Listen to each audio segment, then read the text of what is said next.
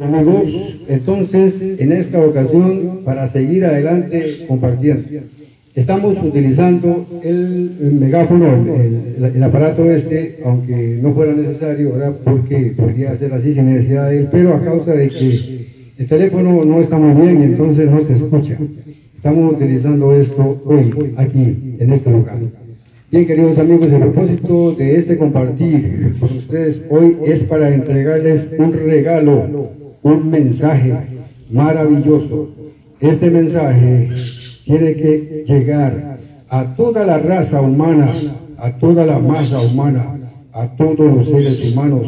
Todos los seres humanos necesitamos conocer esto tan maravilloso que ahora les voy a entregar. No sin antes hacer una meditación previa para preparar su corazón para que este mensaje pueda ser puesto en su corazón de una manera responsable e inteligente, queridísimo amigo. Bien, aquí estamos en el lugar donde yo vivo, vivo en calle Alfaro. Esta es una calle sin salida, calle Alfaro es, bueno, esta es calle Alfaro, y este es mi hogar, aquí es donde yo vivo, y desde aquí los quiero traer a este lugar para mostrar mi responsabilidad. Quiero entregar este mensaje y lo quiero hacer de la manera más apropiada posible y entonces pienso que mostrándoles dónde vivo para que de esta manera pueda yo hacer una muestra de responsabilidad y de seriedad ante el asunto, querido amigo. Este es mi hogar.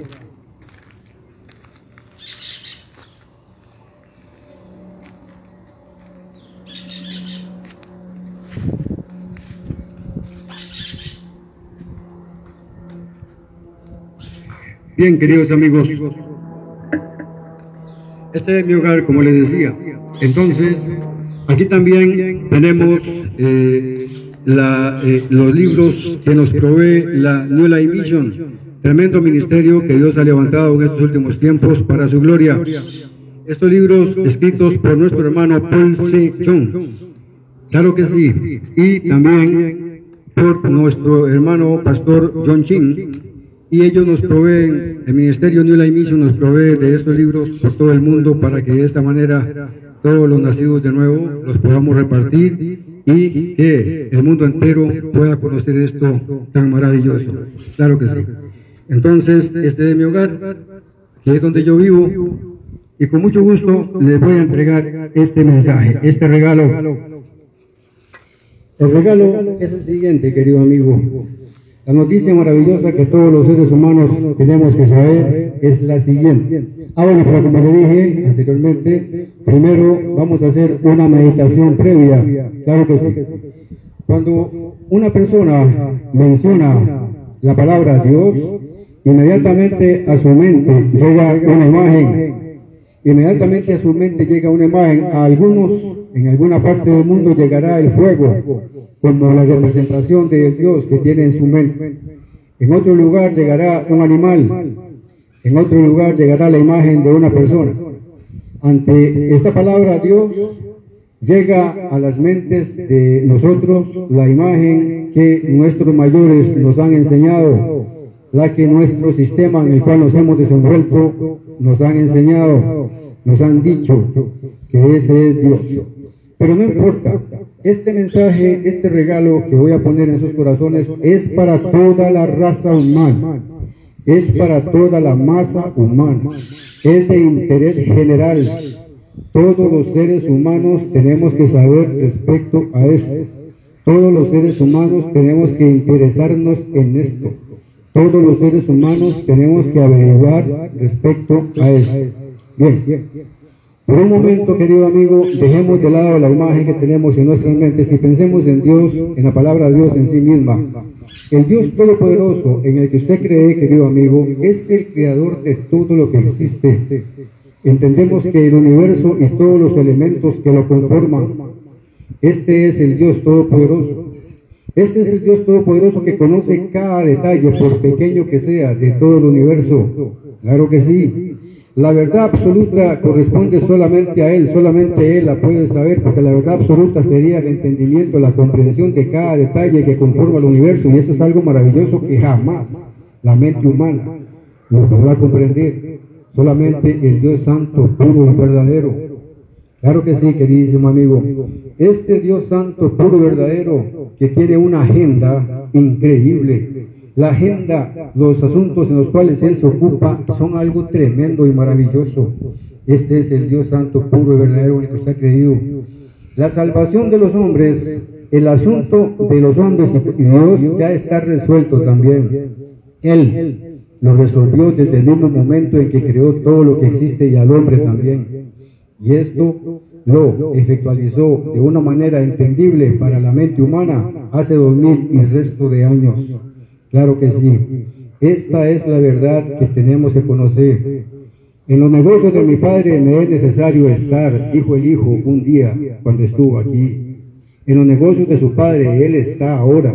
Él está ocupándose de estas cosas. Esto es algo maravilloso, queridísimo amigo.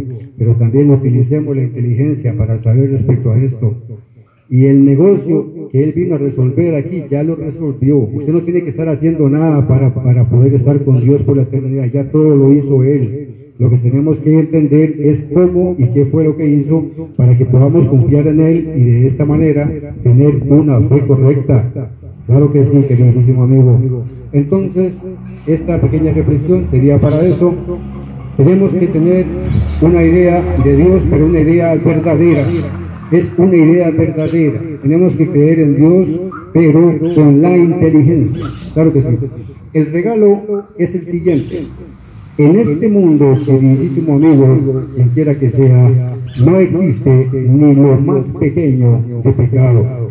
Por el Hijo de Dios, por el trabajo que Él hizo para salvar a la humanidad, precisamente fue eso, quitarlo en este mundo no existe ni lo más pequeño de pecado, porque el Hijo de Dios lo quitó. O sea, esto lo que significa es que no existe ninguna razón, no existirá ninguna razón por la cual usted no pueda estar con Dios por la eternidad. No existe la única razón será que usted ignore el trabajo, el negocio que el Padre vino a efectualizar a este mundo para salvar al hombre. Los detalles de esto que acabo de decir, después de tres días, voy a compartir con ustedes todos los días. Cada día voy a compartir con el propósito de que en pocos días, quizás en unos ocho días, poder explicarles a ustedes los detalles de esto tan maravilloso que reafirmará esta verdad en su corazón para que ahora sí usted pueda aceptar la provisión de Dios, pero ya con entendimiento, ya con comprensión. Que usted no siga diciendo que confía en Él sin entender la razón por la cual confía en Él. Bendito es el nombre del Dios Todopoderoso, Creador del cielo y de la tierra. Claro que sí. Les saludo, queridos amigos. Hasta luego.